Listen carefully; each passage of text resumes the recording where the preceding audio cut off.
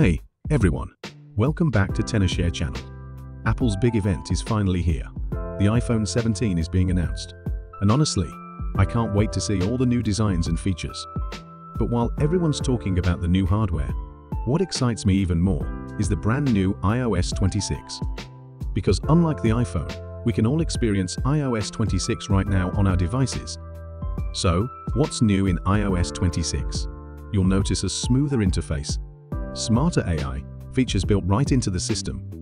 It also updates UI features with glass texture and flow effects, and better cross-device support. Basically, it's a huge step forward, and you probably don't want to miss it. Now, let's talk about how to actually update. Go to Settings, tap on General, select Software Update.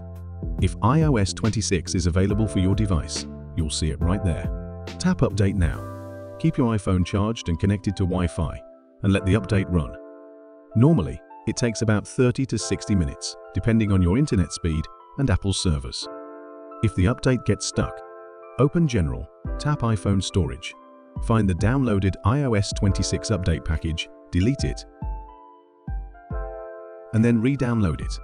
But honestly, the fastest and most stable way is to use a computer tool like ReiBoot. ReiBoot is a professional iOS system repair tool, but it also lets you update to the latest iOS with just one click. Here's how it works. Connect your iPhone to your computer and open ReiBoot. Select iOS Upgrade or Downgrade. Tap on Upgrade. ReiBoot will automatically detect the latest iOS version. You can choose the iOS version you like if it's available. Then you need to download the firmware.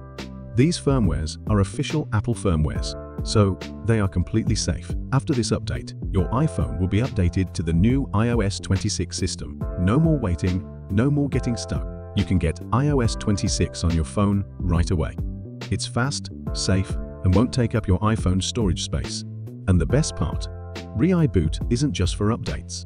If you don't like or aren't used to using iOS 26, it can also downgrade to iOS 18 with one click.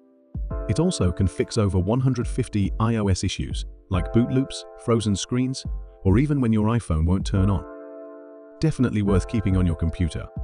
So that's how you can smoothly update to iOS 26, whether directly from your phone or with ReiBoot if things get stuck. Are you planning to update right away or wait until the iPhone 17 officially launches? Drop your thoughts in the comments. And don't forget to like and subscribe for more iPhone tips.